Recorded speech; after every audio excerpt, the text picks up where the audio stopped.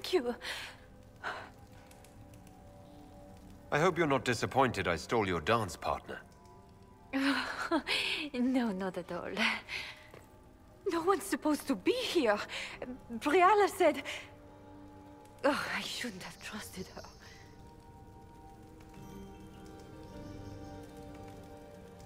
Briala told you to come to this wing of the palace. Not personally. The ambassador can't be seen talking to the servants. We get coded messages at certain locations, but the order came from her. She's been watching the Grand Duke all night. No surprise she wanted someone to search his sister's room.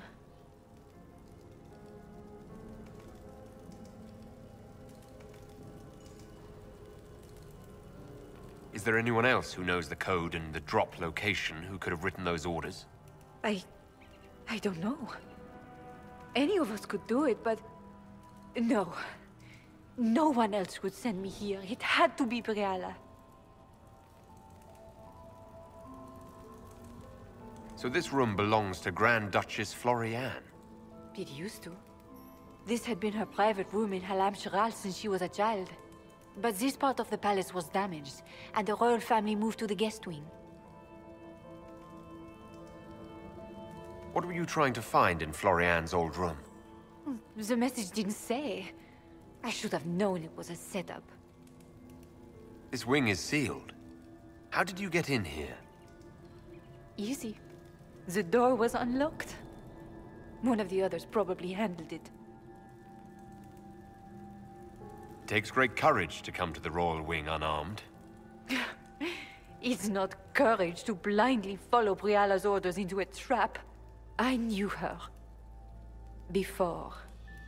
When she was Celene's pet. Now she wants to play revolution, but I remember. She was sleeping with the Empress who purged our alienage.